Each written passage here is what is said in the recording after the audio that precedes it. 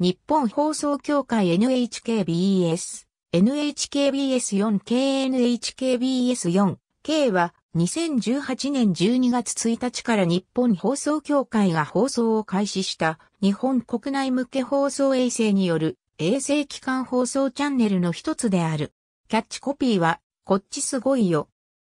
従前の日本におけるデジタルテレビジョン放送と異なる ISDBS3 方式により、一つの物理チャンネルを120のスロットに分け、その3分の1にあたる40スロットを利用し、横3840画素縦2160画素と、従前デジタル放送比4倍の画素数により、さらに高画質な放送を実施するもので、同時に始められた NHKBS8K とともに放送法の規定により超高精細度テレビジョン放送を普及させる役割を担わされた。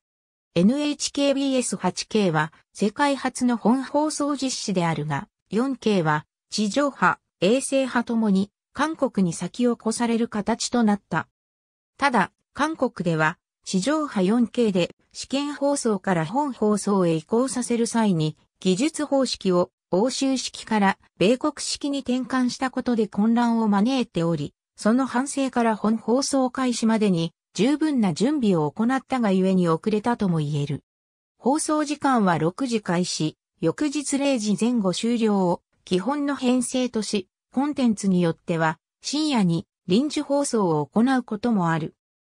2019年度まで平日は月曜日はエンターテインメント、火曜日はサイエンス、水曜日はドラマ、木曜日はカルチャー、金曜日はライフと編成のテーマを定めていたが、2020年度からは連続テレビ小説が設けられるために廃止、地上波の総合テレビや日経で放送されている NHKBS プレミアムに近い総合エンターテインメントチャンネルとなった。チャンネル枠番号は10、リモコンキー ID は新旧 NHKBS1 と同じ1。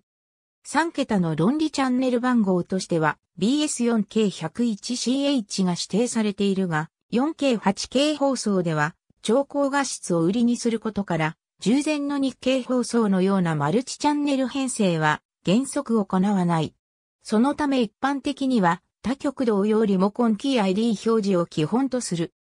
2018年から2020年3月まで使用された初代旧ロゴ2016年8月1日、地デジ南視聴対策放送を行っていた BS-17 チャンネルで NHK が単独でスーパーハイビジョン試験放送を開始。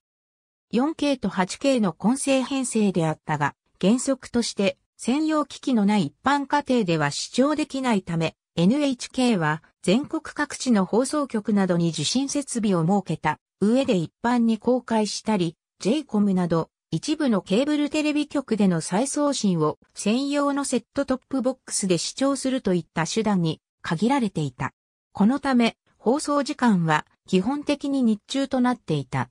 同じ年の12月1日以降は、APAB も試験実施主体に加わり、両者のコンテンツを交互に編成して放送していた。この試験放送は、本放送移行準備のため2018年7月23日に終了。その後は、本放送開始に向け準備を進め、BS-17 チャンネルは NHK が3分の1のスロットを BS4K 用に使い、残る3分の2の計80スロットについては、地上波民放 KBS2 社の 4K 放送用に割り当てられた。